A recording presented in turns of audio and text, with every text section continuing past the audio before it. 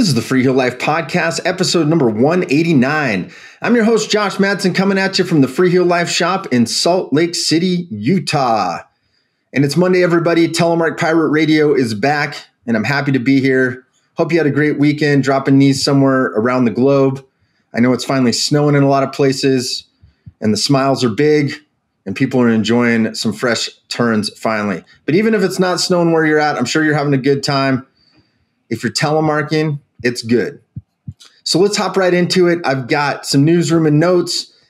We've got a busy week here at the shop. Most of our appointments have been booked up, but we do have some left on Friday and Saturday. So be sure to check that out at the service section of the website at freeheellife.com.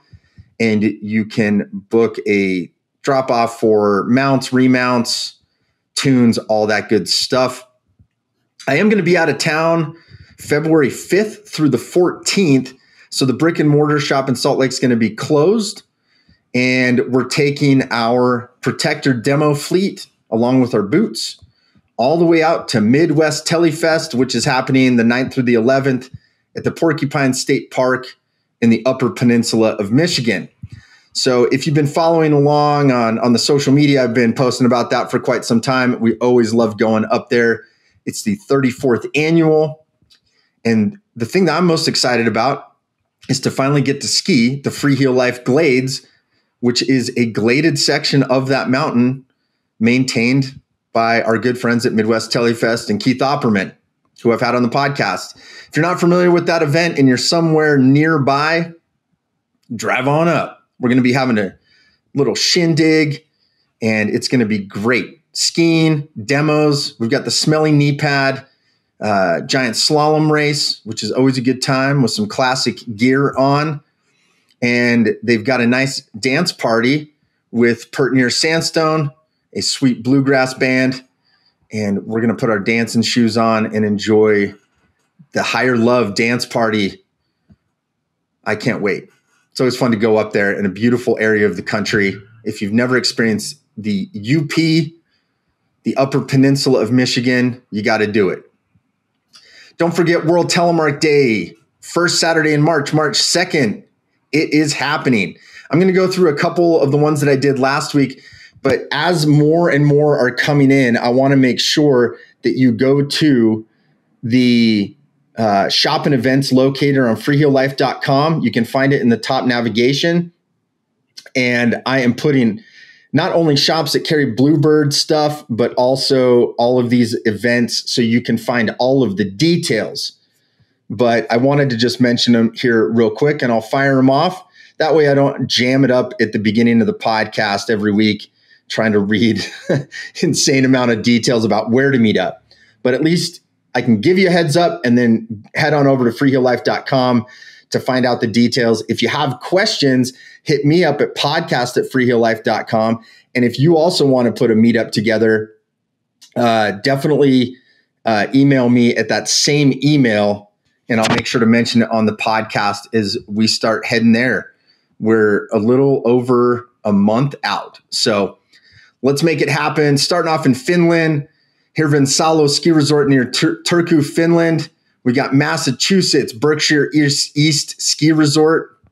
I can't talk this morning. Jeez Louise. Uh, California, Mount Rose, Maine, Pleasant Mountain Ski Area, Minnesota, outside of Duluth, Spirit Mountain. And those are the main ones I've got right now. So if you've got a meetup, you know something's going on, and you're going to be doing it for World Telemark Day. Doesn't matter. Um, does not matter how small or large it is. Let's do it. So today's guest has been a friend of mine for over 20 years and is a telemark skier that I've always respected for his great style, backcountry proficiency, and determined and skillful competition skiing. He was always a top performer in the early telemark free ski competitions during, during the early to mid 2000s and graced the big screen, not only in the early Toughguy production movies, but also as one of the original Powderwhore crew during the 10 years that Powderwhore was producing movies as well. We had a great discussion about telemark competition and film history, his inspirations early on as a young telemark skier, and his experiences and life lessons along the way. So please welcome to the podcast, Andy Jacobsen. All right, Mr. Jacobsen, welcome to the Free Heel Life podcast, man. How's it going? Excellent. Thanks for having me. I'm stoked, dude. This is good. I'm digging up the old bones. Yeah, I know. I'm, like I'm excited to catch up and dig up some of those bones. no, this is this is super fun. I uh it's it's been cool cuz I'm I'm kind of I mean, I jump around for sure in the in the history of telemark stuff, but I feel like I'm kind of getting to the early 2000s and uh which is crazy cuz that's like 25 years ago, dude. Yeah, I know. I know. You're well aware. Yes. That's funny. Um, I got a funny name I pulled up out of I I tracked this down. I, let's see if you remember. Okay. I tracked I tracked down Armand Dubuque. Oh yeah, the binding guy. The binding, dude. Yeah, what was that binding yeah. called? I can't remember off the top of my head. The the ultimate telemark binding. That's right. Yeah. The Ra- Rasta. Yeah, it's it's funny. I uh I tracked him down. I mean, some of these guys, it's so funny. Like, I get their phone number and I text them, and they're like, "Uh, what? Like, you want to talk about what? what? People care about that? That's so funny. Yeah, and I'm like, yeah, I do. I'm probably the only one. Yeah. Good, good to meet. I you. never met that guy. oh, so he was even before your time, huh? Uh, I mean, he was like, seems like he was around the the era when I started, but I just never I never crossed paths with him. Yeah. I think he pieced out kind of like early 2000s. That and, sounds uh, right. He was like that's what I'm similar with like the early days of Rainey. I feel like that same exactly. Era. Yeah, uh, he and I talked on the phone. Yep. Yeah, we talked about super loops for a second, and and uh, I think he's going to do the podcast. But it, it was, uh, um, I didn't really because he skied a bunch of stuff with Andrew McLean, like yep, back like Mount Rainier stuff, like yeah, in the nineties. Yeah, yeah, yep, gnarly stuff. Super gnarly. Yeah, yeah, uh, that's crazy.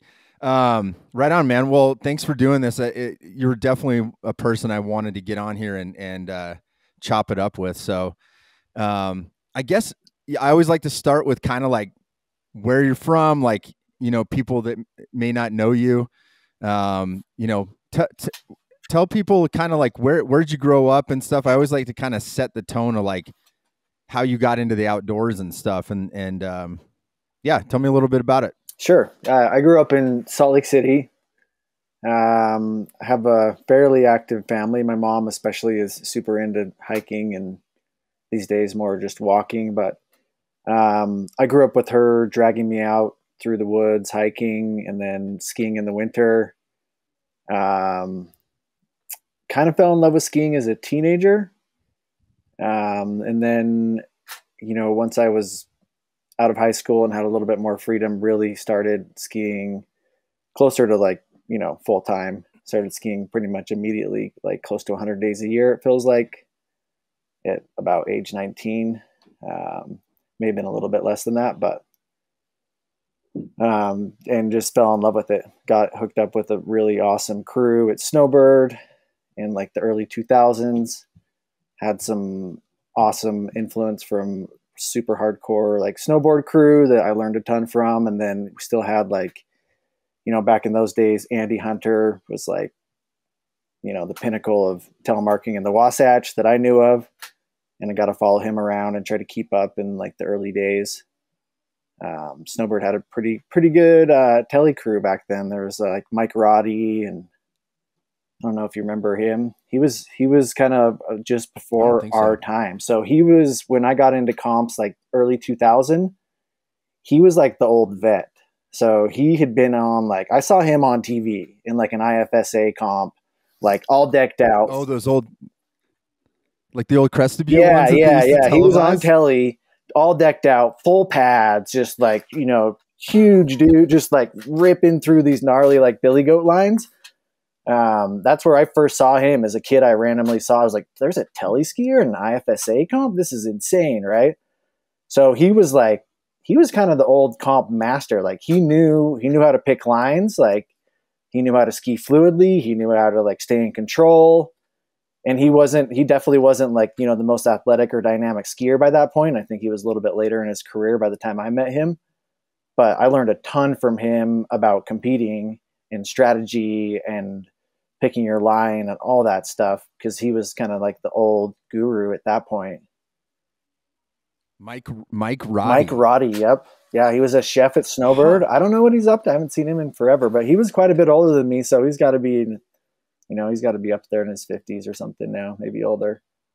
Dang. Okay. Cool. See, this is why I like to do these because there's like names that pop up, and I'm like, Yeah, huh, yeah. I've never even heard of this person. Yeah, that's know? funny. I went on a trip, like it was kind of a turning point for me. Either 2000 or 2001, went out to a, I think A Basin. Yeah, we went out to A Basin with it was random. It was me, Sarah Clemenson, BJ Brewer, and Mike Roddy. We all drove out together and like got a cheap hostel together, and like rallied together. And that was like kind of my first real immersion into like ski culture.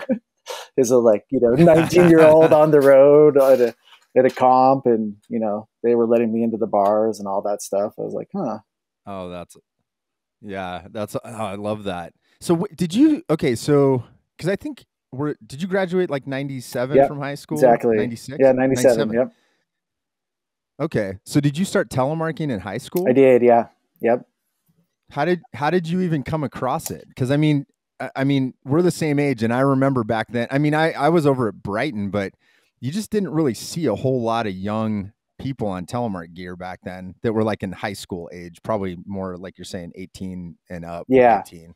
But yeah. so i mean i grew up skiing you know brighton solitude snowbird alta and so i'd seen telemark skiers at alta like good telemark skiers on leather boots like ripping through the moguls right and definitely remember being as a kid being inspired by that and being very interested in that. I had no idea like how i got from point a of being on alpine skis to like point b of being on telemark skis.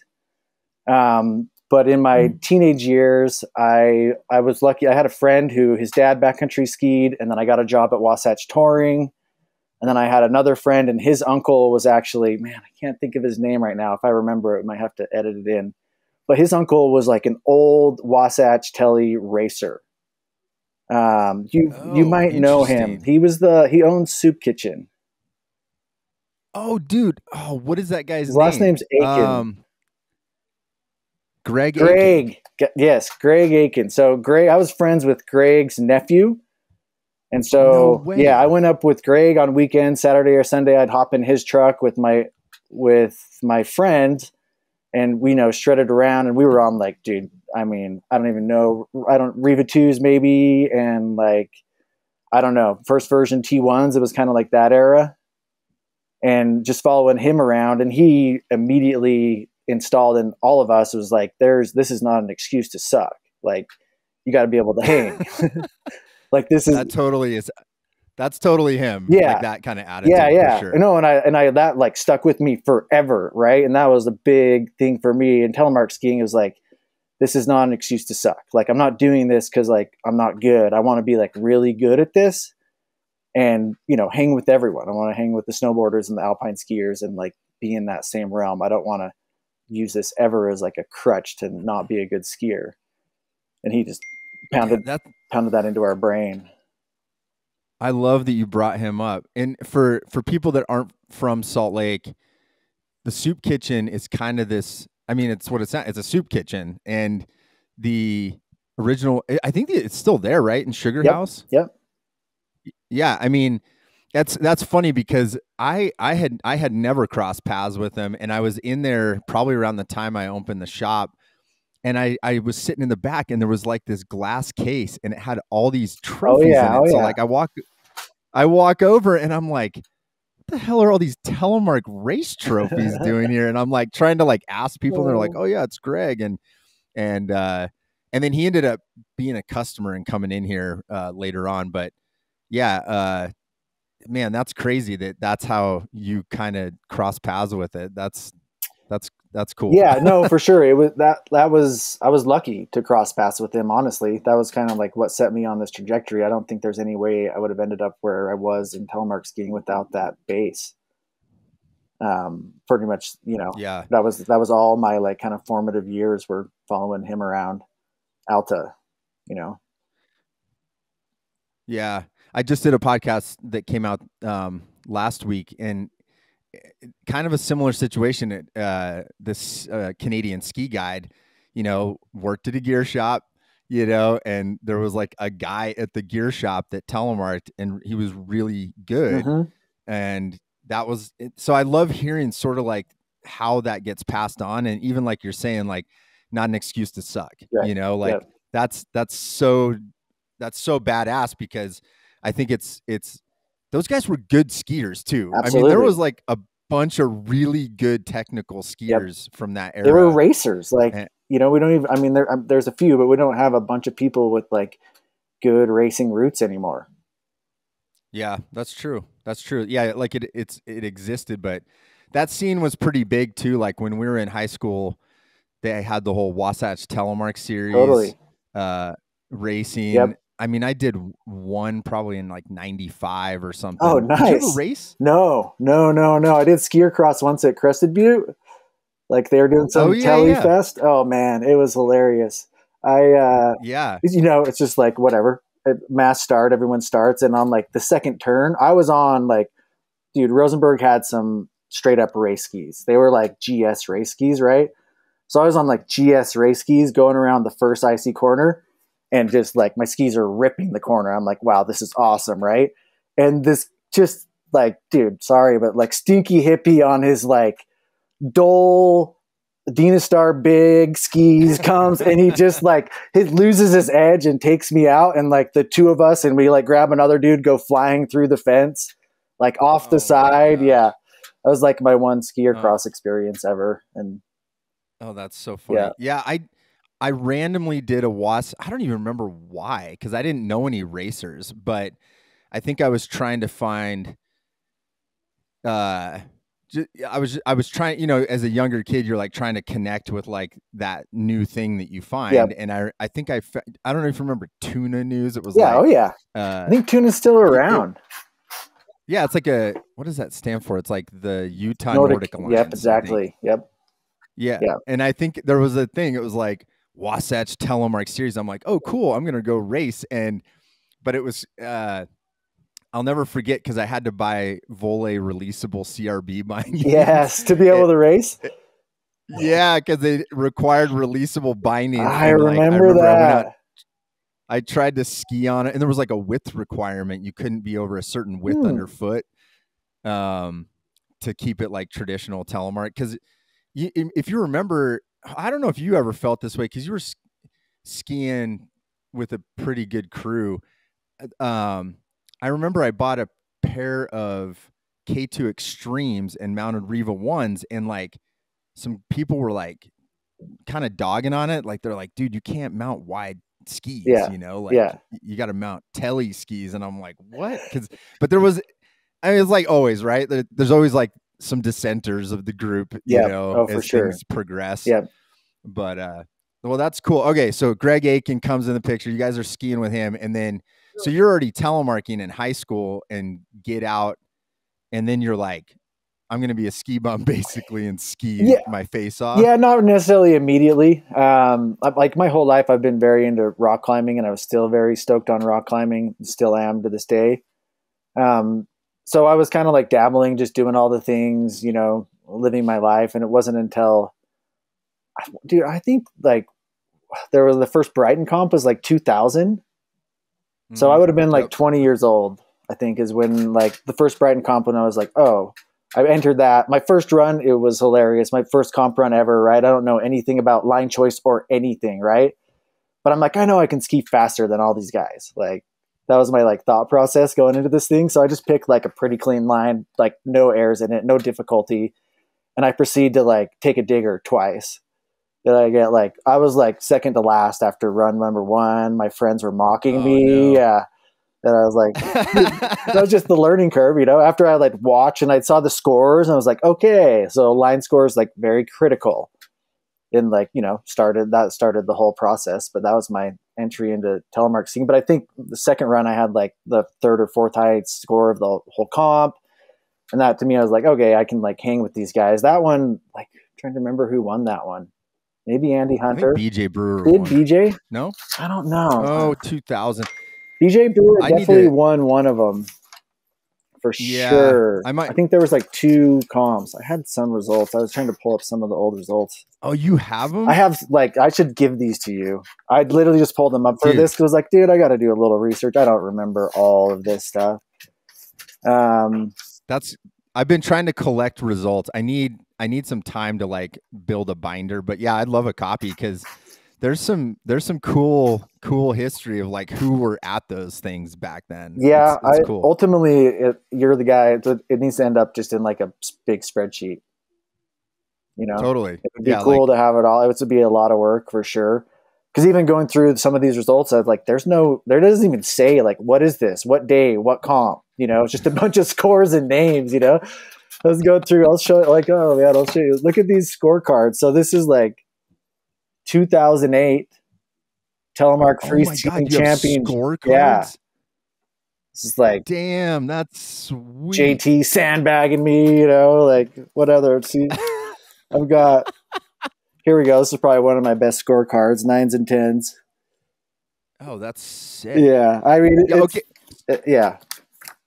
2011 So paint. Mountain Hardwear, Oh no. Targi.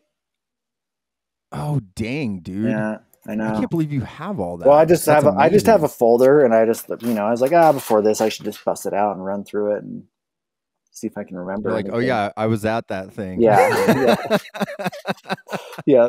That's awesome. Uh, okay, here you got to paint the picture of what telemark comps looked like in 2000 because I mean, when I watch video from back then, I mean, it, it and I think this is sometimes I get shit online because like I'll I'll I'll say, "Hey, you know, there's videos out there and like I watch the skiing hmm and you know I, I think we come from an era like we watch ski videos to get inspired and pumped up right? Like Yeah. so I, I think that's like that was just like how we grew up. You had greg stump movies and then you had like the early matchstick stuff.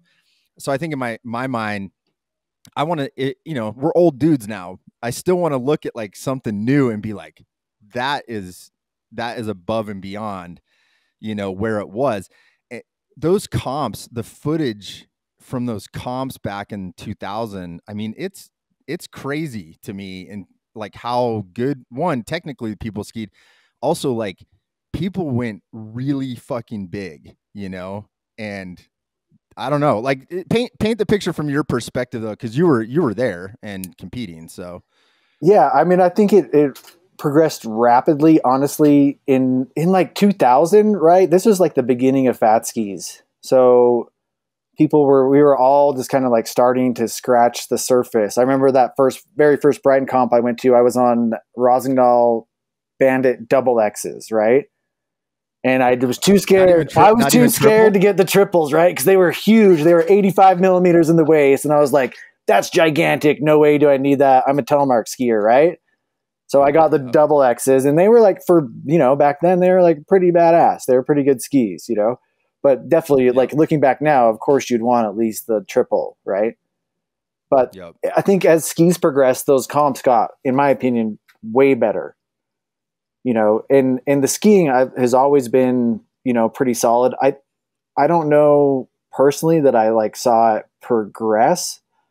I think that like some of the early Andy Hunter stuff I saw was like just as good as anything I saw from the later generation. You know, Jake Saxon and Nick DeVore and those guys crushing. You know, those guys. They're not to take anything away from any of those guys, but like I mean, I think the best telemark ski run I've ever seen in a comp was Andy Hunter on Silver Fox and North Chute IFS. Oh, eh, sorry, IFSA comp.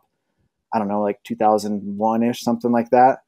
He it was a qualifier at at, at snowbird. at Snowbird, so his home resort, and this is like so that he, you know, had been skiing snowbird year in and year out. He skis that run probably like you know a couple hundred times a year, right? So, but he absolutely destroyed it. Like came into North Chute, two big turns, fall line with a bunch of speed, aired, you know, like 30 footer, landed like he just, you know, came off a nice roller on a groomer, hauled through the trees, like hit an air 360, I think, at the bottom, stomps it like it's nothing, you know. And I, I don't remember if he won it, but he was like top three in that qualifier that day with that run, you know. So it was like, you know, we haven't really we've seen like Nick make it to a final. Nick DeVore made it to IFSA final. I think Jake did too, right? Yeah, Jake did. Dylan did. On telly Dylan skis. Crossman. On telly. Yeah. did? Oh, actually, I don't know if he. I know he to- for sure did on Alpine. I don't. I honestly don't know if he did on telly. He may have. I- that- definitely had the skill set too. That's a hazy one. Yeah. I don't remember, but, But yeah, Nick there's and been. Jake, I mean, not sure. a, not a lot. Yeah. And I don't know that Andy Hunter Yeah. made it to the final in that one. I don't think he did. But that run like stands with me as like one of the greatest telemark ski runs I ever witnessed anywhere. You know? Huh. I love that. Well, and I may I maybe the thing I always think too is the equipment choice of that era and then how they were skiing on the equipment because like you said there was kind of that was probably that next generation of like do we use fatter skis or not and then the the big thing for me is bindings like the boots were like pretty good at Mhm. 2000ish Yep. you know, because that's like Bumblebee For sure, era for or sure. t- t- like T race, but a lot of guys were still skiing like Targas. So you I know, I like that- know, I know. Which is crazy. Yeah, you know, yep. and it required a lot more technique to pressure the skis than a modern binding would. Yeah. you know, Yep. so. Yeah, that's that's cool, man. I love that you're bringing these names up because see, I don't even know uh, Andy Hunter. I've heard that name, but I don't know. Yeah, he was, you know, like him. the generation before us a little bit. He I mean Yeah, he had an accident. He hit a tree at Snowbird and ended up losing like more or less like the use of one of his arms. So he skis around now with Oh, one pole. Dude, he's still shredding. Like shredding. I'm not kidding. Like I have a hard time like keeping up with I haven't skied him in a long time. But the last time I skied with him, I was literally having a hard time keeping up with him. And he's like literally doesn't have use of one of his arms. It just kind of like hangs there and he just shreds down the mountain. wow. Yeah. That's that's that's incredible. Yeah. Well, I yeah, so I mean just I that Brighton comp like and then that this this is kind of when I start m- meeting you guys Mm-hmm. is probably around 2002 like um cuz I wasn't really a big mountain competitor guy, but I went to that Jackson Hole event in I think 2002 uh or 2003 somewhere in there cuz cuz then USTSA had started kind of the the like the like a, not a tour. Yeah, no, they did it? that. Like a- that was, but that was 2001. was it 2001. I don't know. Let me look. I think so. Yeah, here, Cam, pull- I have it right here. No, no, you're. See, you're helping me out, dude. I don't have any of that paperwork. Uh, let's see. Jackson Hole. Yeah, there's three comps. Jackson Hole, February 23rd through 25th. Brighton, March 17th through the 18th. Then it was supposed to be A Basin, but it got changed to Berthoud for the last comp that year. Which year was That would be the two. McClory thing? That would have been. Uh, that man. Ugh, I got DQ'd from that one for time. You did? Yeah, the day I skied like this awesome line. Probably one of my. This is probably my best comp run ever. Skied this stupid, insane line over like next to this eighty foot cliff, and actually got through it okay. Came down to the bottom, had this air picked out. There was no inspection, so I kind of just like inspected this thing. Found this like booter that sent me over like this gully. So I just kind of like pointed it towards this thing, like had no idea if the speed It was like, okay, just go too big. If anything, go too big hit like one of the biggest errors of my life, like jump errors, like definitely like a 40 foot gap, stomp it, and I like get down and they're like, oh, you missed the time cutoff by 15 seconds or something. I was like, oh, bummer. Oh. But yeah, then the next day, that was that was the comp that the McClory thing went down. Yep. That was Yeah. also the comp. And that was Scott Murray, do you remember him transferring over onto that, was bin? gnarly. That was yeah, I do gnarly. remember. Yeah. Like lookers left from the bottom. Exactly. Lookers left and he just aired Yep. across, tried to land on this little fin, and it was just rock. And I don't know All the snow. I remember all the snow just sheared off, and it was you could see the rock. Yeah. But it, I don't know if you remember seeing his like hip and butt after that. I mean, we were staying with him, so I remember he was like in our hotel. I was like, I mean, it was just like blue and green and black and purple, and like it was it was gnarly. He got wrecked. Obviously, not bad as Scott McClory, but yeah. do you know was, yeah. what's up with Scott McClory? Is he you have, you know anything? No, I would love to get I would love to get him on. That'd be an interesting one because See, that's what's crazy about those competitions, right? Because like he's Canadian. There was like Canadians No, I know. come down and compete he was with you ripping too. I remember skiing around with him Yeah. and being like, "Oh, that again, that guy has like a race background, right?" And just skiing around the resort, I was like, "Whoa, this guy rips! Like he's not just some like free skier, bro. He's got like a really good telly turn."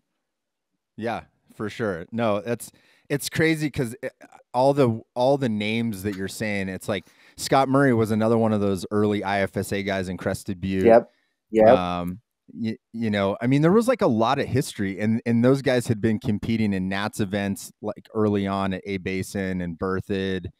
Um, I had him on the podcast. That, that's good to know you've got some results because I think I think at some point it'd be interesting to sort of timeline it out a little bit. And um, but yeah, the the level of skiing was pretty wild. I was your line lookers right? yeah, kind of- yeah, yeah, yeah. So that thing that Murray tried to transfer over onto, it would have been Uh-huh. well, no, it was Looker's left. It would have been Looker's left of that. There's like a big, like 80 foot cliff that I actually I skied in to inspect that and was maybe gonna hit it. And I, as I like peeked over, it looked really flat, and I was just like, no, no, not doing that. So I made like another turn and had like a plan B kind of a line. Um, but yeah, I mean, this was like early days of having cameras, but I still remembered like the footage of me making that turn on that 80 foot cliff and like snow's cascading off, and it was like, oh, it's pretty exposed up there. But Oh my! Well, and to explain a little bit about you've talked about what you learned to compete in those things. Like for people that have never seen a uh, free skiing comp, and especially that era, because it's still kind of new, right? Yeah. Like the the televised alpine events were going on in the '90s, but you know that's only like maybe f- I don't know five, not even ten years before Mhm. you're talking about it. yep. So, like, w- what all went into line inspection, and like, how did the scores work and all that? Yeah. I, I mean, it depends on what day and what comp and who was running it. What judge? Yeah, what judge and what the conditions were. Uh, I mean, in general, they tried to get you an inspection, right? Because that would be safest for us all to be able to go look at these things, right, before we try to shred through them. But sometimes conditions or other things would get in the way where we just couldn't do it. Um, I do. I mean, the final at Berthoud. Were you at Berthoud? I didn't. So this would have been like supposed to be like the grand finale of that first year of the USTSA when Jeff Wright put on the series. And Yep. we are supposed to be in A Basin. I can't remember why, but we went to Berthoud last minute. And the qualifier was on like some little mini golf stuff that's within the resort. But the final, dude, they sent us like they this would never happen. They sent us into the backcountry, like up this ridge to this peak. we skied off of like a peak, and we skied this big mountain line, probably fifteen hundred to two thousand vertical feet, with a bunch of different cliffs in it, with zero inspection except for the hike up, right? And it was like we Well, it, go ahead. I, I I was just gonna say, like, Berthoud Pass wasn't a resort at this point. People got to remember there was no lifts. I right? think this is like right when they had started running that one lift. Oh, had- okay. they So you didn't have to hike though. No, they had one lift for like the qualifier, this little mini golf kind of cliff zone.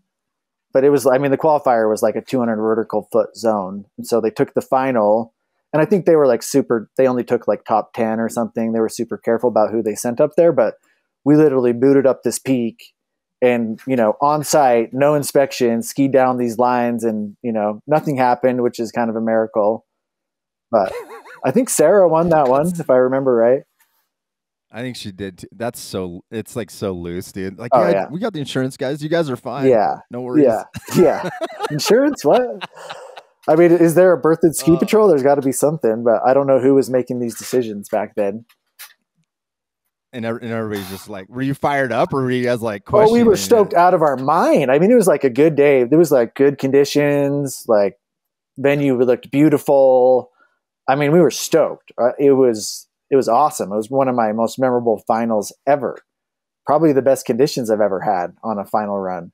But it was just you got one run and there was no inspection because it was in the backcountry. It was like one and done, and it's just intimidating. You know, trying to ski aggressively down something you haven't really looked at and kind of have an idea where you are, but like I, you know, generally I like to have like a, a marker, like a tree or a rock or something, so you very confident that where you're going is where you think you're going because obviously we've Yeah. seen bad things happen in comps where people are not where they think they are. Um, yeah, that's that's wild, man. yeah, I wish I could have seen that. that was fun. that was super fun. That's cool. Um, well, so at what point? Because the comp thing, that's like I said, that's where I met you, Andy Rosenberg, Noah Howell. I don't know Jonah. Jonah didn't compete, I don't think, No, but uh, no, but there was like that was kind of the little crew. At what point did you guys start filming? Because, um, yeah, I guess walk me through that because it was a really different time back then. I mean, it wasn't like, I mean, now our iPhones shoot better quality video than like the camcorder things. yeah, you know, yeah. was it? Because I think it was through. Didn't you guys start filming like little miniature segments for Nat Ross for Toughguy? Yeah, so I think the first Toughguy film I was in was in like 2003. I think it was like Bliss. You remember that? It was like me and Oh, you were in Bliss? Yeah, yeah. I was in like their Okay. all their like first four movies. Dang, I didn't realize Yeah. that. Yeah, uh, Bliss. I, I So- think I might have found a copy of that finally, but I mean, I don't really have any great skiing in there, to be honest.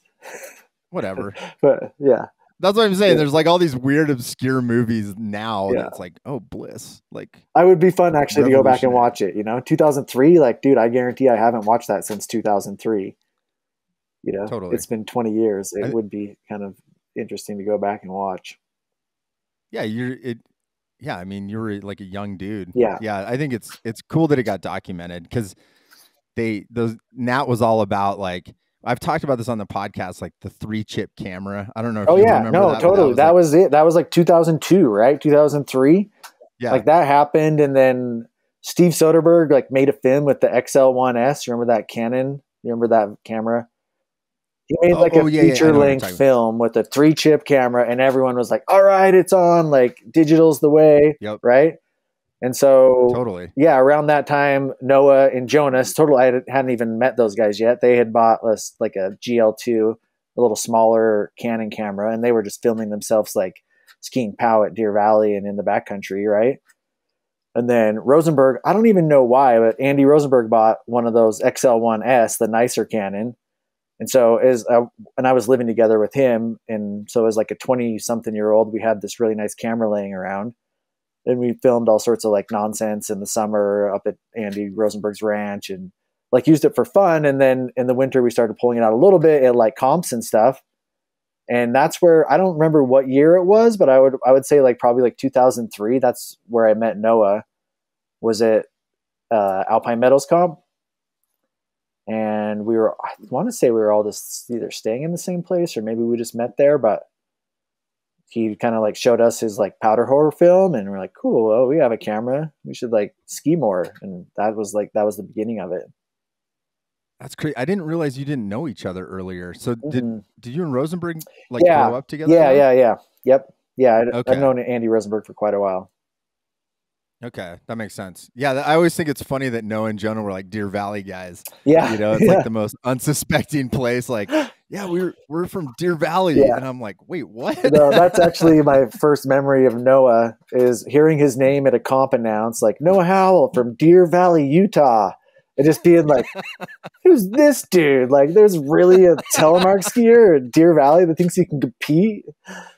Uh, oh, that's great. Yeah. Oh, that's so funny. we, Uh, that three chip camera thing really was a big deal because, and I I think I talked to Nat about that because I remember hearing, I think I, uh, briefly lived at Charlie Cannon's house, and I he was kind of linked in with that crew. The one downtown? Yeah, that Victorian house. was he digging out the basement at the time? Uh, Were you around for any of yes, that? kind of. Okay. Uh, I I was not there for the digging, but Okay. that basement was creepy. Yeah. Yeah. It was creepy. Yeah. That's funny you know that house. Um no, but I remember meeting Nat and it was like, yeah, like if you have a three chip camera, you can just send footage. And I'm like, what is it? I like I, I'm like, what's a three chip camera? I didn't really know much about it, but yeah. that's what was kind of interesting about those movies because he kind of had these little groups Oh, that had cameras. Totally. And they would just like send it in and then they would put these movies together. yeah. You know? I mean, dude, do you remember Dusty? Dusty was so rad. You remember that guy from Toughguy? Early days. oh yeah, oh, yeah, yeah, yeah, yeah. No, I know who you're talking. Yeah, Yeah. Dusty for sure. Yeah, he was like a Yeah. kind of an atomic Nordic guy, Yep. um, ultra runner, like total hardcore dude. I didn't even know it back in the day, but he just like spent the winter following me and Ross Richards around Alta. It was like Oh, me and great- Ross and That's Dusty. another great name. Ross. Ross. Richards, bro. I have Oh not seen that dude in a long time. I'm gonna track that guy. You should. down. I would He- love to catch up. that guy is that guy's super OG for sure. And someone actually, Ross Richards, uh, I mean, really was like a an early pioneer of like park skiing For Like, sure. and he was Very a great, early. great skier, but like he actually had like legit tricks and stuff. Yep. And someone actually, I didn't realize he was in a um Gaffney film, right? uh, a ga- the Gaffney film. Yeah, Yeah, in Winter Park. Someone sent me. Yep, someone sent me that clip Totally. where it's like he's in the dish room. Oh yeah, So yeah, yeah, yeah. That segment's it's, sick. it's a little yeah it- i was like someone in, sent it to me on instagram the other day and i'm like what i'm like i've never seen this i was like i don't know if this might stand the test of time like the it's it's kind of a funny uh a funny moment in that movie but the skiing is sick i'm like this is crazy this is like 1999 or something Yeah. he's doing like cork sevens and stuff. Nobody knew that anyone was doing that. I did not know that anyone was doing that on teleskis when he was doing that in Winter Park in that video. You know what I mean? yeah Like I remember seeing Ben Dolans throw like a rodeo at a uh, I can't remember what it was, a basin comp, not during the comp, but just like after. And I was like, Yeah. oh, I've never seen that before. The teleskier just stomped a rodeo, but the, Ross was doing it like four years earlier and Yep. higher difficulty, and nobody really Yep. knew except for a couple dudes skiing around Winter Park that saw him in the park. yeah that's i had no idea you guys rolled together for a Well, while. he, uh, you know, he like showed up at Rosenberg's house and just like never left the couch. Uh, we had this like giant like growler full of change, and we we just watched the change just drop. Like, oh, it just came like, the uh, inside joke with me and all of our roommates. We're like, just keep an eye on it. It's like, know where it is now, and like none of us are touching it, right? But this change thing is just like dropping slowly but surely. You're doing like li- little markers. Yeah, we- like little mark- Sharpie mark. Sharpie mark. no, he'll notice. He'll notice. But no, we Oh, literally had so to like. funny. I'm pretty sure that we all like pitched on a train ticket, and I drove him to the train station. It was like, yeah, dude, dude, like it's time. Like you took him to a train station. Uh, yeah, he was like, That's- dude. He, I mean, he spent the winter not paying any rent on Rosenberg's couch, and we all had like put up with it as long as we could. And like, I mean, this is literally probably the last time I saw him, and like, I don't have any hard feelings towards him. We were all just like young and like we were living that lifestyle, Yeah. right? Um, but yeah, I'm pretty sure that me and Andy Rosenberg and one of our other roommates pitched to pay for his train ticket because he didn't have any money to like get back home to Winter Park. And we like, I drove him to the so- train station. It was like, yep, here you go. That's so funny. Yeah. Oh it was the end of the winter, so he didn't really have any reason to be here anymore. I don't think Yeah. But yeah. Wow. that was the. the So go ahead. no, I was just gonna say. So so you guys. So that was kind of the first thing. Like Dusty followed you guys around, and and you guys were sort of filming and stuff, and doing the early Toughguy. Yep. Um, so when, wh- and you met Noah and Jonah, like when, when did the idea to do? Because this is kind of like when I meet you guys. Like this is probably like 2004 ish. hmm Um, I guess when did the idea come from? The original Powderwhore kind of group, like, hey, we're gonna make our own movie. Well, that was actually before I ever even met Noah. So Noah and Jonah and like Daryl Finlayson and the whole De- Deer Valley crew, they had like a little, you know, short movie they had made, and it was called Powderwhore. Right? It was never like released, Mm. right? But I saw like when I met Noah, he played it for us, and I like saw it. Right? So that was they had like a little ten minute or twenty minute POW video that was called Powderwhore before I even met Noah. Um, Hmm. And then, yeah, I think it was like 2003. And at that point, like I said, I was filming with Toughguy. And then 2004, I kind of filmed with Toughguy and Powderwhore. We were like, oh, you know, we had somewhat decided that we wanted to make a film, and that me and Jonah and Andy Rosenberg and Noah were all going to combine powers and like see what we can do, right? Because you know what we saw coming out, like no offense, but like Bliss and Core from Toughguy, were you know I was in them, but they were just you know we felt like we could do something a little bit better, as like Yeah. I think we all have always thought, you know, and I would say the same thing, you know, about Powderwhore now. It's like, oh, it could have been better, right? Yeah, so I think like 2004 was the first year that Noah, Jonah, Andy Rosenberg, and I started filming with the intention of making a film, and we had no idea really what it was going to become or how far we'd take it or if it was going to be a one-time thing or what was, you know, we didn't really have like grand plans. I mean, it was named Powderwhore, so we were just kind of like flying by the seat of our pants, you know, just like young and dumb and just having fun skiing. But it started as like honestly, we just went skiing with our friends. Like it was awesome. You know, there was no, you know, or very little concessions made for filming. It was just all about going skiing, and we filmed it, and whatever came out came out. And then as part Powderwhore progressed, we realized that we had to make you know more and more concessions for the filming in exchange for Mhm. like a higher quality product. And you know, you start to lose a little bit of the soul as you do that. I think we were all aware of Yeah. that. I mean, and you've experienced that of you know being a professional skier and filming and shooting photos. Is, it's different than just like going out and shredding a turn in the woods that no one ever sees, and it was perfect and rad and good for your soul. It's just different than Yep. than going out there and trying to get a good shot, whether it's film or video. it's almost like two different worlds It you know like like you said like to and I, I i don't know if what most of us i mean it really was a different era too because you think like social media is not there yet i mean there was still like analog um photography and and like we said the video cameras Oh, yeah. just coming out that you could actually like get a commercial level picture um but i think uh you could see the divide a lot too of like people realizing that you know oh i want to be in the movie but then you and and they there was there's a lot i mean like all these people we're talking about there's been a lot of amazing telemark skiers over over the decades that you no one's ever even heard Oh, of because sure. they don't want to stand around and make it hey i need you to make three turns and Yep. blow up blow it up you know Yep. so it's uh that's that's a unique a unique thing i was i was gonna at least hold this up because i did have a copy Oh, nice. Yeah, that's me, baby. Cover shot.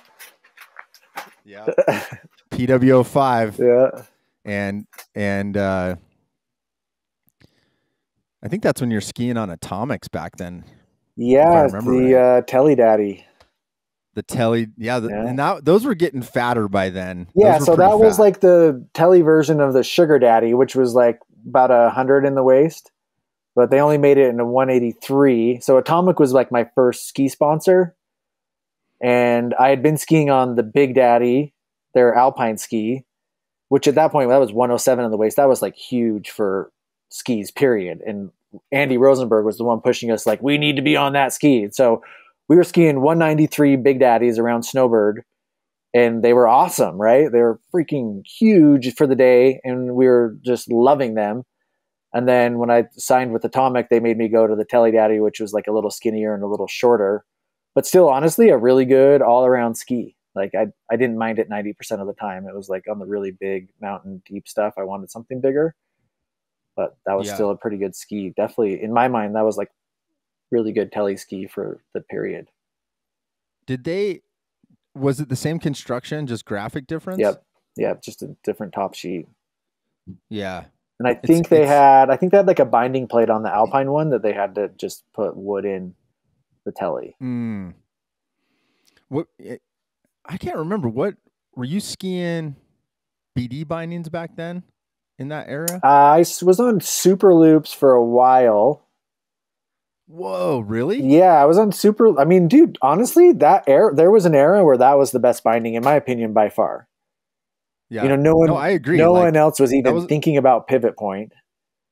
Yep. And on those, you could mess with them, which was, in my opinion, just mind blowing. Because I that Did you actually? go ahead. Did you mess with your pivot point back then? Yeah, I mean, I worked at Wasatch Touring, so I was like in the shop working on tele skis all the time. So I kind of was like geeking out about it. And like, yeah, I definitely I went all the way back on those and was like, whoa, that's too much. And that was the first time I'd ever experienced, you know, I, what what's the right word for that? I don't even know, but like heel tension, Acti- too too much. yeah, we call it ac- activity. yeah, too much activity. I was like, that is too much. That's just I can't bend my knee naturally, right? And then I think I went back to like number three or something. It was like, oh yeah, that's the Huh. sweet spot. But Oh, that's funny. you know, I skied Riva twos, but I just remember blowing my the duckbill out like repeatedly.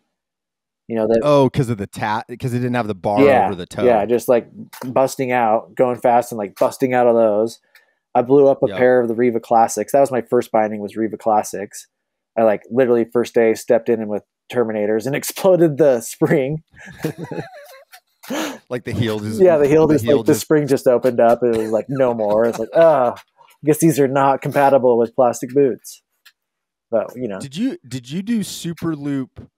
So uh, funny enough, did you know about the super loop one that had a rubber band heel? No, the first Super Loop I remember had a cable and it had a heel closure and it had the spring in the heel Okay. closure. Okay, Like a little that's like two. two. or three inch spring and Yep. not very much travel. No, not at all. Yeah. And well, what's funny is I always thought that was the first super loop. And there's a there's I'll, I'll text you a picture later. I finally found super loop one, which is it's literally it's got like hose clamps holding this like foam rubber heel, and it has an actual grip that you pull to stretch the heel and put it onto your boot. wow. Crazy. Sounds crazy. I'll show it. I'll send it. You'll trip out when you see it. Anyways, uh, no, Super Loop really was like that era that you're talking about. I remember seeing all the badass guys had Super Loops and Super Comps Yep. or Terminators. Yep. Yeah. Yep. Yeah, Huh. I'm trying to think my binding progression probably went from yeah, Riva 2 to Super Loop. Honestly, I think I stayed on the Super Loop for a while. trying to remember. I definitely I tried the Targa and just couldn't do it. Yeah. Uh, I tried the Lincoln. Remember that thing? That was Oh, probably my least yeah. favorite of all time. No offense if anyone's listening that likes Lincolns. The Uh, Lincoln guys are out there yeah. like Ronnie "You Dahl. suck." Remember Ronnie Dahl? No, I don't. What? Who's that? You don't know Ronnie Dahl? dude. You've got so many Oh, good names. I'm like, who? Who are these people? Ronnie Who's Ronnie Dahl? Ronnie Dahl is this crazy Norwegian. Uh, I don't know. I don't, maybe he's not crazy. When I, I only met him once, and it was at this Brighton comp. He was like the Lincoln like sponsored skier, and they like flew him out for like a Brighton comp. Early days, like early two thousands, and he had a bad first run, and so his second run he just literally went straight, like as as a like, humor, and just I, I he just literally straight lined the whole venue until he exploded. and like that's my memory of Ronnie Dahl. I was like, so this is Lincoln's Pro they sent over here. Uh, Hey, Ronnie Dahl, if you're listening to this, please email me. yes, I, I want to podcast at freeheellife.com. Hit me up, bro. I want to hear the Ronnie Dahl story. yeah. He'll, I bet he'll remember going straight down the Brighton venue. Oh my gosh. Yeah. That that binding was kind of funky. I have I have a couple. I actually have one in the box if you want to take it out for a spin. Oh man, no thanks. No, Uh, I mean, I what else? I tried the oh, what was the big Skyhoy? oh shit, you did Skyhoy too? Nah, just for a minute. I actually talked Andy Rosenberg into like mounting a brand new pair of like Salomon skis with those, and like he exploded him first run, top of the tram at Snowbird, like blue. yeah, because it was those made no sense. They were so heavy and it was like plastic at that hinge. It's got to be one of the, like the most most money put into something with the Yeah. least amount of return. Yeah. it's up there. Poor Skyhoy. Skyhoy, yeah, man, that was a disaster. That's funny. I would have never I never would have thought Skyhoy would have crossed paths with you, bro. Well, that's, that's... yeah, it was just for a very quick moment. You know, I got sucked into the propaganda or the marketing or whatever. It's like, this is the future. Yes. this is like, no, no, no. I'm going back to the super loops. Step in 75 millimeter. This is it. Yeah. But I mean, once, I guess, when I left the super loop was when BD came out with the O2. Yeah. So Andy Rosenberg actually got hired by BD like right out of college for like an internship to go to New Zealand, and he helped kind of like dial in the O2 before they released it. So me and everyone, I we were just like, okay, that's going to be like the binding, and it was really good binding in my opinion. And then when they yep. came out with the O1, I never left. That's probably like my own personal all time favorite. Yep. You roll uh, rid stiffs. Yep. Yep. Yep. That it's yeah, I had it literally people love that binding, dude. I had a guy literally yesterday. I had he hit he snapped that front cable on it and uh I go to take the cartridge off and it's like seized, you know. Ooh. So I'm like, dude, I gotta like soak this overnight. And here I am this morning, literally. I mean, this guy, he doesn't. He's like, I love these bindings, and I'm like, I, I get it, man. And I've got a lot of parts, but 2000 i mean what was that like 2009 yeah. that thing came yep. out? Yep. Yeah, yeah. i'm like that sounds it's starting to get it's starting to get to the point where i don't have all of the parts. Right. And i had to i had to leave him a sad message. I'm like dude i tr- i tried. I tried to make it tried to get it through uh, i gotta dig uh, through my stuff. I might bring you a box of o1 parts hey i'm, I'm pretty sure i've got it the uh the cartridges are really hard to find. I believe that's that. Like a big. I believe that. That's a really tough tough thing for that. Yeah. Yeah. Um, that's cool, man. Well, um, yeah, that that era of, I mean, so you did, I guess, just to kind of wrap up the Powderwhore thing. I mean, I mean that that was an era, bro. Like, I mean, you guys, you know, I filmed with you guys the first two years, and then how they did, you, did they go t- ten full years? Ten years, yeah, yep, ten years. Wow. Yep. So 2015. Yep. Did you film every single f- movie with those? No, guys? I think like the last one I wasn't really involved in at all. But I think yeah. I did like eight or nine of them with them. Yeah. Dang. Dude. It's fun. I was I just so you know, I was the person pushing for you, demanding that you were in the first two. I I appreciate that, dude. I was actually telling someone a fun, I, and that was such a great. It, it's cool to look back on that because yeah, I ended up being sort of like the park skier, you know. Yeah. You guys were really good. You guys were really good and you hiked a lot and I sucked at keeping up with you guys. Yeah, so yeah, was... you were still a good free skier. Yeah, you just didn't yeah, you didn't ski the backcountry as much as we did at that point. No. Well, let's hit on that real quick cuz one thing I think that's unique about Powderwhore, like you said, you didn't compromise a lot like for filming versus the skiing. The amount of hiking that you guys did over the course of that that project. I mean, it, it like it weeded people out. Not oh, everybody sure. could hang with with you guys. Yep. Yep. I mean, is is that an accurate statement? oh, for sure. I mean, I mean, there's probably some other things that weeded people out too, but that was a huge one. Some people just wouldn't even come out. Period. That we wanted to film with because they were uncomfortable or whatever. Um, and then we definitely had other experiences where it was just like it's just too much, and you know, yeah. And uh, dude, it's hard. I I mean, I get it. Like waking up at 3 a.m. and being at the mouth at 4:30 and hiking in the dark and you know all that stuff. It's it's hard for sure. I also like in a weird way loved it. You know, I I I don't remember ever like my alarm going off at 3 a.m. and being like, "Screw this! I hate my life." Right? You know, it was like stoked yeah. that we get to go out and like ski pow in the mountains with good friends and like you know just appreciate that we actually had that chance to go do that. Yeah no for sure. How many people when you guys were doing dawn patrols back in the day how many other parties did you see out there? Uh, a few and then you'd like you would know them. a few? Yeah i mean here and there. Uh, yeah. w- honestly we didn't do a ton of dawn patrolling in like the central Wasatch, like across the street from Alta, right? Yeah. We'd kind of like spread ourselves out to other places.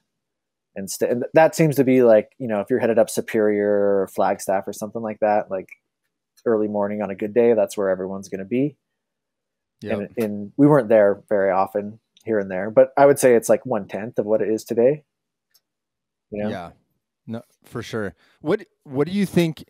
Because you guys were the first ones that I knew where you guys were pushing out to zones here in the Wasatch that, like, you know, obviously I didn't really grow up as a backcountry skier, and I wouldn't, and not like you guys. You guys are a totally different type of backcountry tele skier, and but there was like all these zones that I didn't even know existed. You know, I mean, do you have any like memories of like going out to some places where you were like, oh yeah, this is sick. You know, like we're out where no one's going to be out here. Cause it, it nowadays, a lot of people push pretty hard further, but I feel like you guys were heading back there way earlier than everybody else. Definitely. I mean, I think, you know, we'd hike for sometimes two hours, get back to whatever, Hogan Fork or something, which when I started ski touring, you know, just getting to Hogan Fork was like a big day. You know, that's how it was thought about. Like, oh, that's like a really big day if you're going to ski from the White Pine Trailhead and get to Hogan Fork and then either ski out Hogan Fork and deal with the bushwhack or hike back up and get back to the White Pine Trailhead. That's like that was what I viewed as like a huge day in the backcountry, and we just started doing that regularly. You know, because we part of it was chasing conditions. So you know we're filming, so we're looking for good snow and we're looking for light, and you know we're trying to ski the steepest thing we can on a daily basis that's safe, which is a tricky thing to do, obviously. And like as those words come out of my mouth now, as I'm older and my risk tolerance is much lower, I'm just like that just sounds stupid to say, you know. And I think we are incredibly lucky that no one died during that 10 year period because, you know, as much as I loved how we did it and how it wasn't a big crew, it was like there was times where we we put ourselves out there and exposed ourselves because we were a smaller crew. We didn't have a helicopter or we didn't have a safety director on top and you know there's things that these bigger film crews have that we didn't have. And it really required us to trust each other to a, a super high extent you know it, and and it was cool. It was honestly really unique group that we had you know core four of us that we all had that trust and we could all film and we could all ski and we could all assess avalanche danger and risk and all of those things. And we got along as great friends. And so I, I, mean i honestly look at it as like a kind of a magical 10 years. It was awesome. That's some of the, yeah. the, the most fun i've ever had.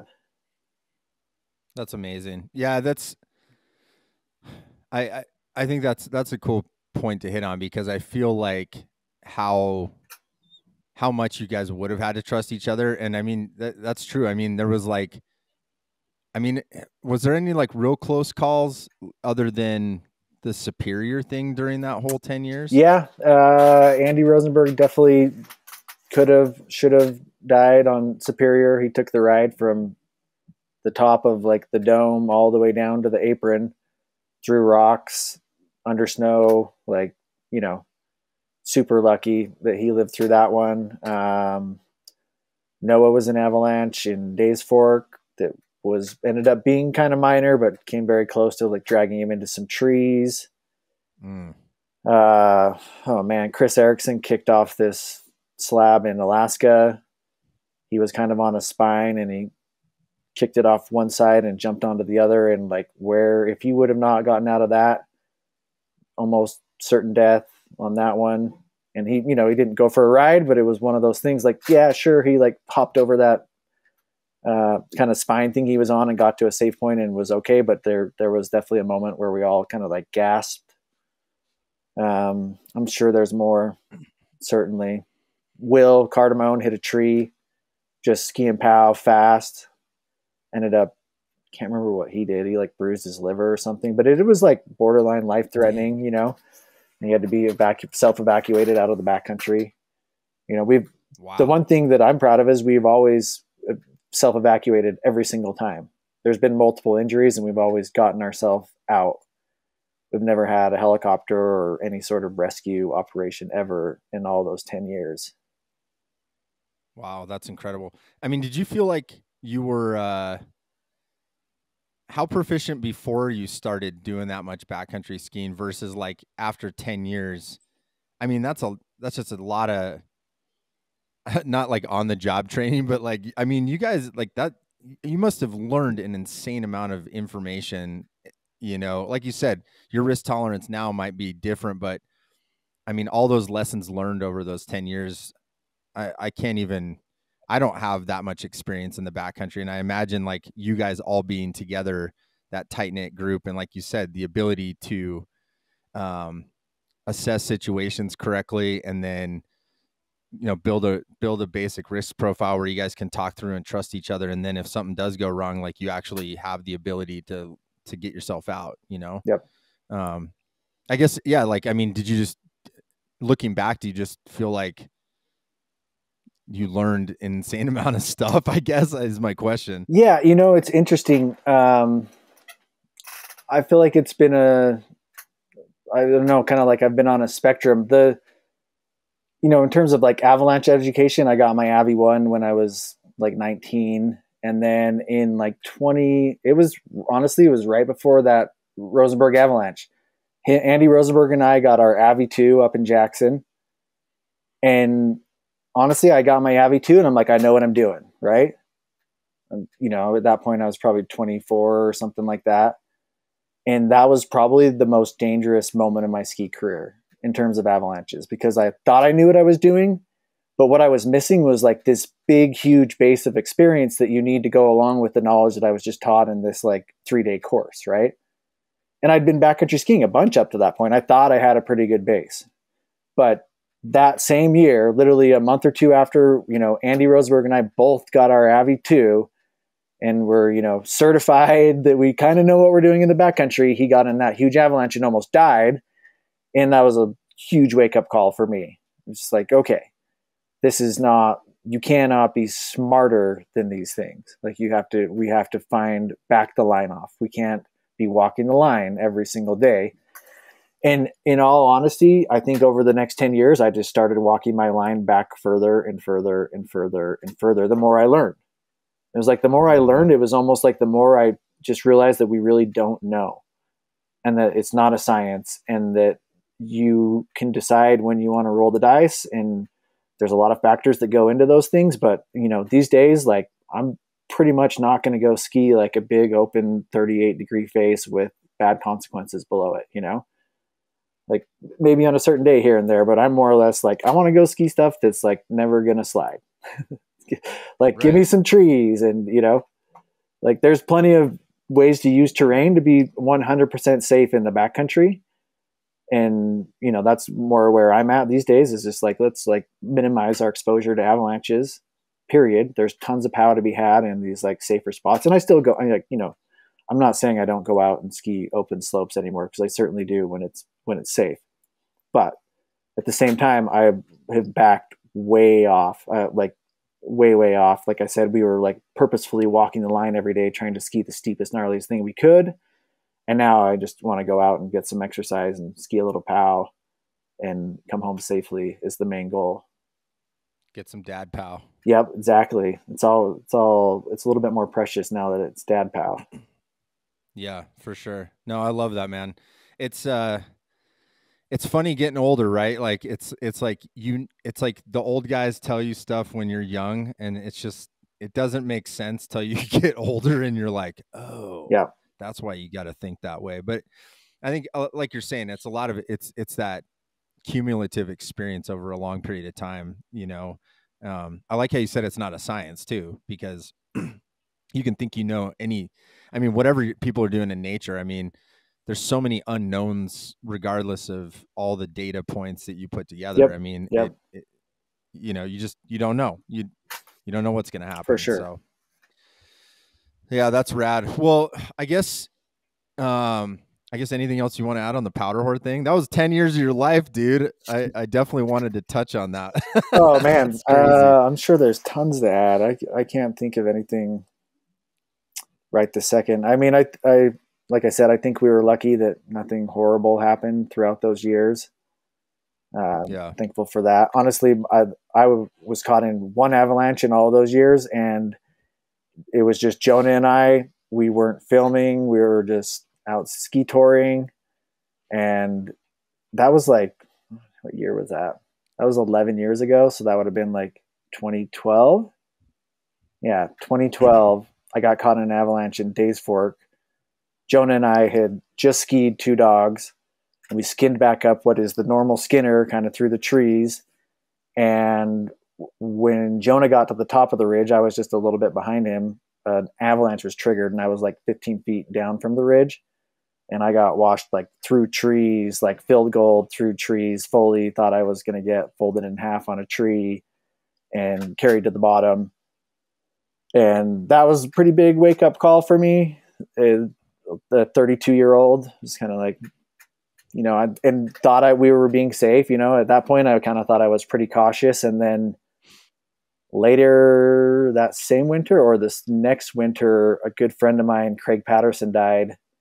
He worked for UDOT, and he was probably the one of the most knowledgeable and cautious backcountry skiers I'd ever skied with.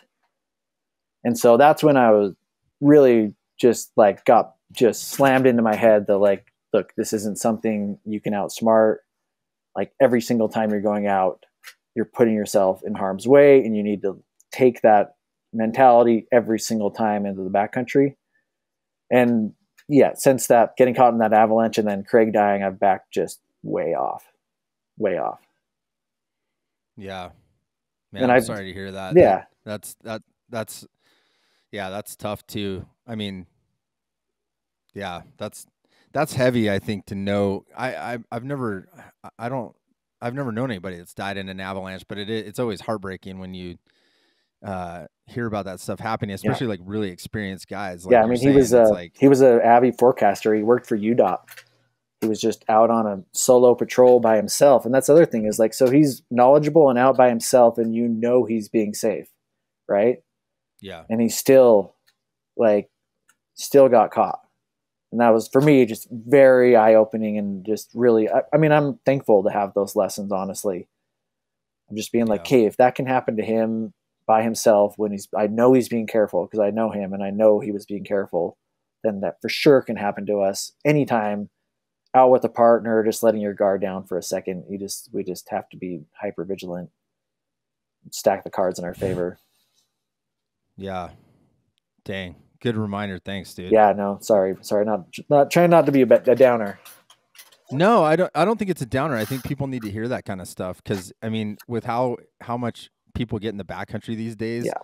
I'm always surprised because oh, I think, you know, I mean, probably the most I was skiing the backcountry was with you guys back then. I mean, it was like, hey, we're going hiking, we're going hiking, and I I remember, uh, uh, you know, it there's a lot of eye those eye opening experience. I remember, I, funny enough, I had forgotten when you were talking about going through the trees. I when we went to Cooke City. Oh man! And that was like that was the first time where like we're getting it. No, like none of us really know the area, and I, I I have this distinct memory of we're skinning up through the trees, and I'm thinking, oh, we're in the trees, we're safe. Like and someone up ahead kicked off this massive slide that just ripped past everybody. And i was like oh i'm like i'm not safe. Mm-hmm. like i you know so it's like i think it's important to share the stuff you're doing because you know you hear these little sound bites of like uh if you're in the trees it can't avalanche or something like someone will say something like that. And it's like like you said, you never know. Like the every scenario is so different and unique, and there's all these variants involved. And I just remember that happened, and I was like, "Huh, I'm definitely not experienced enough to know what's going on here." You know? Yeah, that trip was gnarly. That was gnarly. that was no, it really was. Like the Avi conditions were bad, and we still like pushed into that little mini golf zone. And then that last day, we skied off that peak like yeah. I was the first one off that peak, and honestly, I look back at that line with like a tiny bit of regret. I'm like, man, I kind of feel like I was probably pushing it a little far there. Yeah. Like oh, we all ended up skiing that line and it didn't slide and we were okay, right? But like I was saying, like it's not a science. We didn't know it wasn't going to slide without any question, right?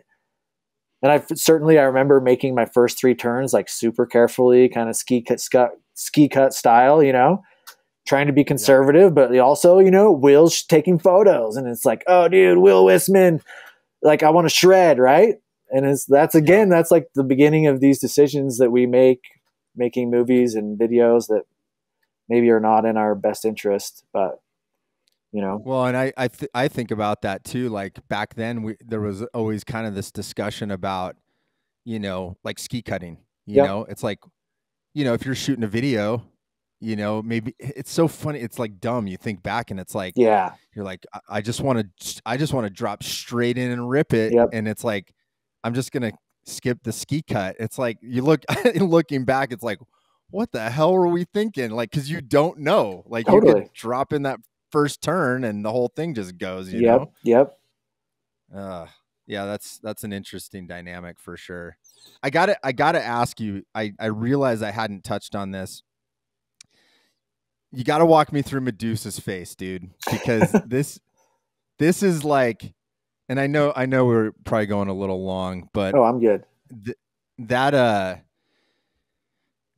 I, ex- I don't even know how to introduce this, man. I remember seeing the photos of this from Will Wissman and just like looking at it. So, I guess just a quick description. So, like growing up in Salt Lake, you know, obviously the Wasatch is here. There's a really prominent mountain called Mount Olympus, and there's a huge slab of rock on one side that's like like a five four quartzite rock climb. You know, like it's it's easy enough that you know it's it's not like a hard rock climb, uh, but and I didn't realize till I saw these pictures of you that you can ski this thing and sometimes snow sticks to it. So like uh, what was what was how did you even come up with was is that a Chuting Gallery thing? Like how did you come up with that on your to-do list, I guess? Uh yeah, it was in the Chuting Gallery was kind of the the beginning for me. Um I definitely like when the Chuting Gallery came out, I was I bought that book and I was stoked and I was like, okay, I'm gonna go start ticking off the easy ones, right? And that, I mean, I don't remember for sure what year that was. I feel like it was like 01 or something, you know. But Medusa's face was one of the kind of crown jewels in that book of the Wasatch in terms of like difficult ski mountaineering lines. And growing up in the Salt Lake Valley, I've stared at that face my whole life. And so for me, I was very inspired by the thought of getting it in good conditions and like making ski turns down that face. I, I, I don't know why. I don't I can't explain that inspiration, but it was something of like almost like a childhood dream kind of a thing. And it was something that I'd had in the back of my mind for a long time. And then this year, probably 05 or something like that, we got this really nice low elevation storm and that face filled in and i knew like you know i'd been watching it for a couple years at that point and never had seen it really fill in and so i knew this was our chance. And so yeah we blasted up there with noah and will and andy rosenberg um, and andy actually he brought like he brought some giant rope up there. I think that we had the idea that he was maybe gonna like belay me way down the face or something like that. So I like tied into this rope at the top and ski cut and like ripped off like a little like six inch slab kind of slough thing. And it just like cleaned out the face. And i remember will and noah saying they like oh yeah it's like it's done now. He's not going down. There's no snow left or whatever. But in all honesty like the avalanche had just kind of compacted the face. And now there was like this nice slightly firm chalky snow left the whole way down. And uh, yeah i just remember staying tied into whatever Andy Rosenberg's rope for like a couple hundred feet, and then it was like totally getting in the way, and untied from that, and ended up skiing it in really good conditions. It, honestly, it wasn't like it wasn't pow, but it was like this nice chalky kind of bed surface from the little slough avalanche thing that had like cleaned off the face. And wow. in general, I think that that can be kind of like a sugary, rocky face, and I had it like pretty nicely compacted and like edgeable. It was pretty much like perfect conditions, and it was it was super fun. I mean, it's it's a it's definitely like no fall zone from the top to the bottom, you know. And I, I wasn't skiing it fast or anything. It was just you know very technical jump turns one after another the whole way down. I still like I I might even have like a low res picture of that, but it's epic. Like, and I think it's when you have that rope on. Yeah, I mean, it's like I'll I'll see if I can dig that up because I would love to see it. I do remember one of Will's photos when the slough was running down the face, Yep. and like I'm at the top, and I'm just this little dot, and there's this giant slough running down the face. It's that's the one I remember, but I haven't seen those photos for two year, two, 20, 20 years, something like that. yeah.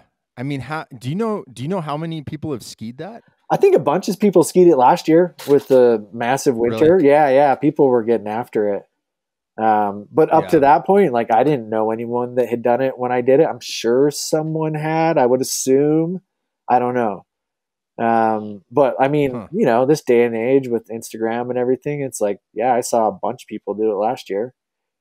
But it was That's in crazy. for like a month straight last year, whereas like, you know, usually it's in for a day or two. But Yeah. last year, just so much snow. I think people were getting after it. Dang, that's what.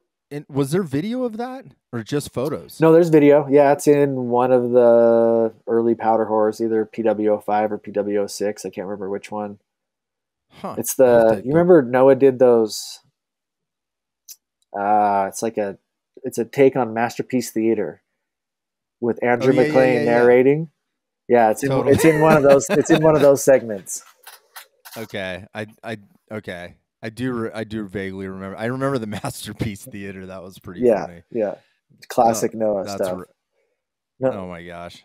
Yeah, the humor in the early ones was like so funny. Yeah, Noah was a yeah, he was a class act. He definitely had a talent in that world.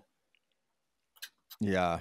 Well, so um I guess before we wrap up, man, what are you up to these days? Like I mean, you spent a decade being a powder whore and then like what what have you been up to since then, you know? Uh, well, I've got two kids and a third on the way.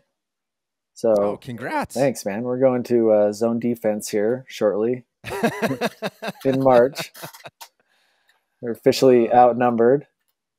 Um, but yeah, I ran a small bouldering gym up in Park City for about seven years, and we closed that in 2019.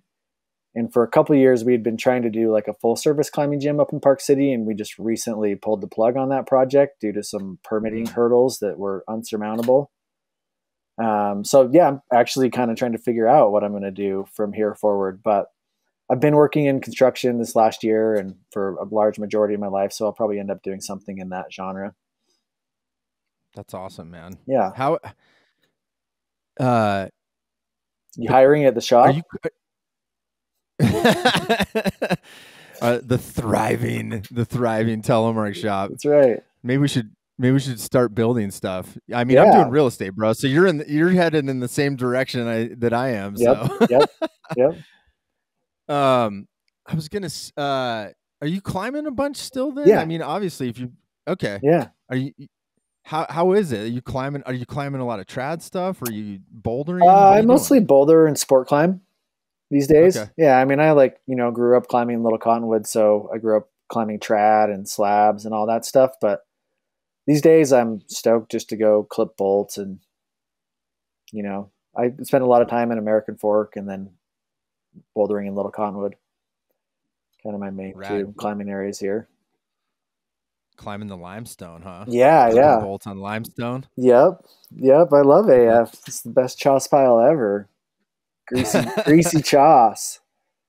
I love it. Man, I I- thought about that. We we, we were up bouldering like in Little Cottonwood a couple years ago, and it's it is it is funny like how high traffic it is now because Oh man, a lot of the a lot of the classic problems like you're like oh I'm just gonna get on like standard overhang and it's like Grease. polished to the point where you can like see your face glass. in it. You know? Yes, yes. Yeah, it's glass. It's Yes. glass, and you're like, well, this isn't like it used to be back in the day. yeah, it's pretty wild, man. Yeah, you can show up at like the five mile boulders now, and there will just be literally the ground's covered with pads, and you don't even need to put your pads down. You just start climbing because there's a group there of twenty people.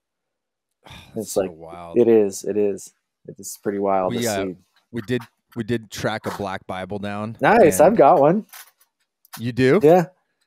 Yeah. Rad. I- we, we were Really? Yeah, yeah. Well, I had one. I, my original one that I like had a bunch of notes in. I lost one day. It's in Little Cottonwood somewhere. I was so sad. That one I lost like four or five years ago, and my friend actually had a literally out of the box brand new one, and he gave it to me because I was so sad of losing my like. It was kind of my climbing journal for Little Cottonwood. When I lost my Oh original gosh. Black Bible, yeah, it was really sad. But I learned the lesson to not keep your climbing journal in a guidebook.